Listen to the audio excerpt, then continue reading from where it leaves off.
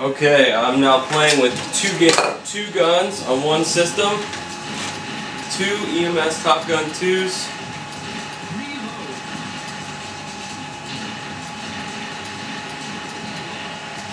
But it's very difficult.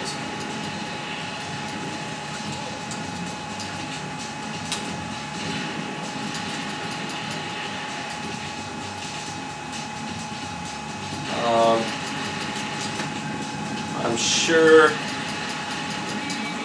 that under the right circumstance this would work great. But it's very difficult to hold two guns in your hand at the same time. You see the purple dot is one gun and the red dot's another gun. Hard to shoot at the same target at the same time.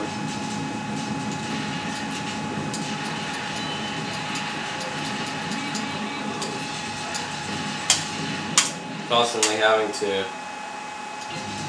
push the start button is hard.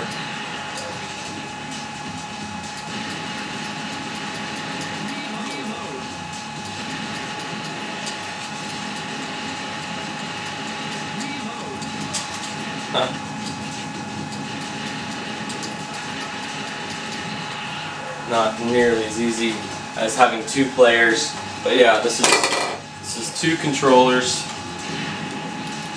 You can see they're both shooting two controllers there that actually both function. They're both wired.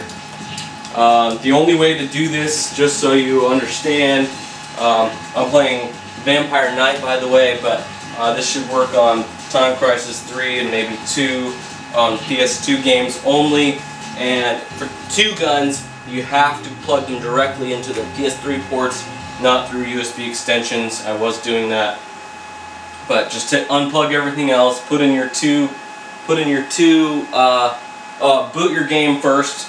Um, you can't, you can't plug in a lot of stuff into the PS3 these days uh, without it turning off the USB ports. So boot your game after the game boots, then plug in your two controllers to the directly to the PS3, as well as as well as the uh, power uh, power USB plug for the actual two bars that go with the EMS Topguns. Anyway, that's how you do two PS, uh, two PS2 light guns through the PS3. Works great. Uh, I wish I had a second player right